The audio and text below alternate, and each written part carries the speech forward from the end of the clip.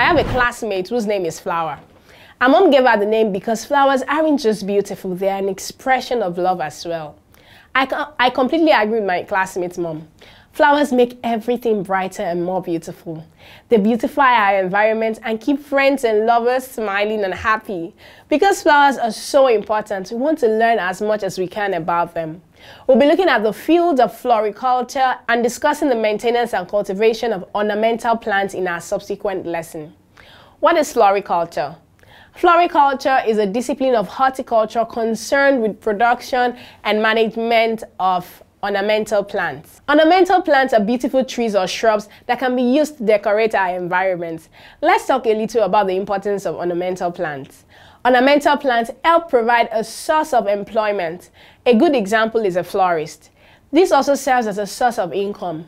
Like my classmate's mom said, ornamental plants could be an expression of love and as a gift on special occasions. Ornamental plants are also used for decoration, fencing, and medicinal preparation. They could also serve as a source of food and source of livestock feed. They serve as windbreaks and are useful for purification of air and provision of shades.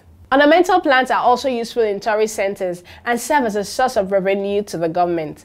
See you in the next lesson.